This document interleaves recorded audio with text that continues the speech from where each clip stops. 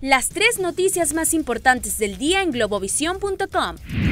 IATA pide a Venezuela la repatriación de 3.600 millones de dólares. El director ejecutivo de la Agencia Internacional del Transporte Aéreo Tony Tyler pidió hoy al ejecutivo venezolano que autorice la repatriación total de 3.600 millones de dólares que adeuda a 24 compañías aéreas.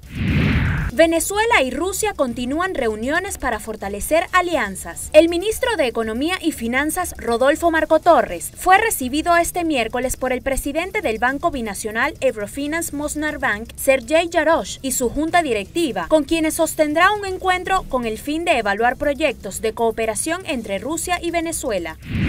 Diputado Lobo pide no preocuparse por variaciones petroleras. El gobierno garantizará la continuidad de los proyectos y programas sociales pese a variaciones del mercado petrolero, ratificó este miércoles el diputado a la Asamblea Nacional Ramón Lobo. Para más información ingresa a globovisión.com.